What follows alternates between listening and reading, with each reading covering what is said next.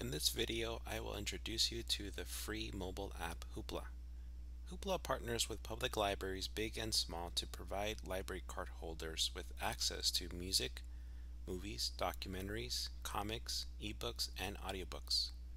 Hoopla is for anyone looking for free access to entertainment and educational content.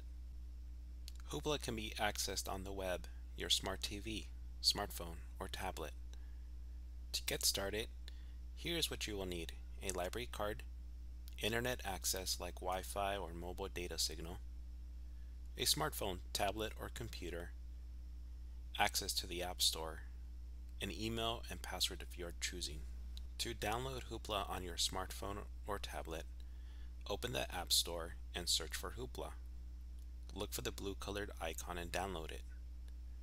To create a Hoopla account, tap on Don't have an account? Sign up.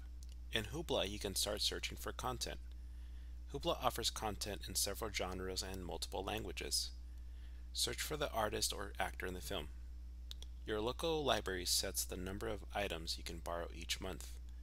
Loan periods for movies, television shows, and videos are for three days. Music albums for seven days. Audiobooks, ebooks, and comics for 21 days. Note, that each television show episode counts as a checkout. You can view all your loans on My Hoopla. You can stream or download titles on your mobile device.